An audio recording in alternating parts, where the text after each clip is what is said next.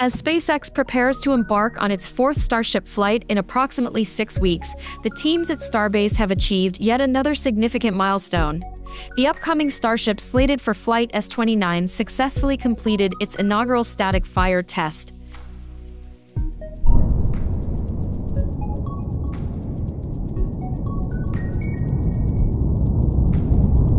Confirmed by SpaceX, this test marked a full duration firing of all six engines at the South Texas launch site, lasting approximately 5 to 6 seconds without any issues.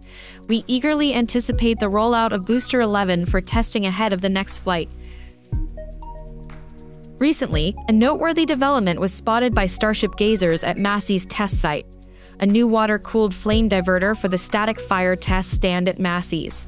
SpaceX's relentless pursuit of perfection underscores its commitment to swiftly advancing Starship into a fully operational rocket poised to revolutionize space exploration. In a separate event, SpaceX achieved its 29th successful mission of the year with the launch of another batch of Starlink satellites into low Earth orbit. Designated as Starlink 646, this mission saw a Falcon 9 rocket lifting off from SLC 40 in Florida at 7:42 p.m. Eastern Time.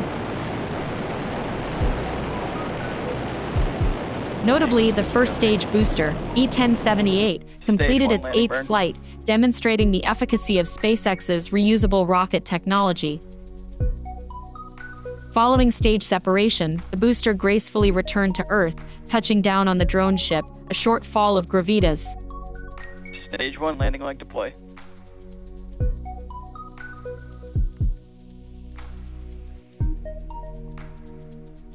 Stage 1 landing confirmed.